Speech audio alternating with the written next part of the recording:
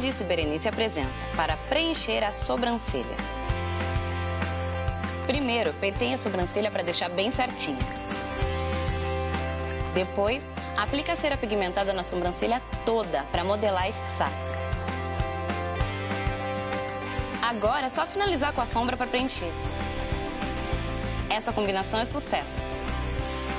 Quer mais dicas? Vai no canal da Quem Disse Berenice no YouTube.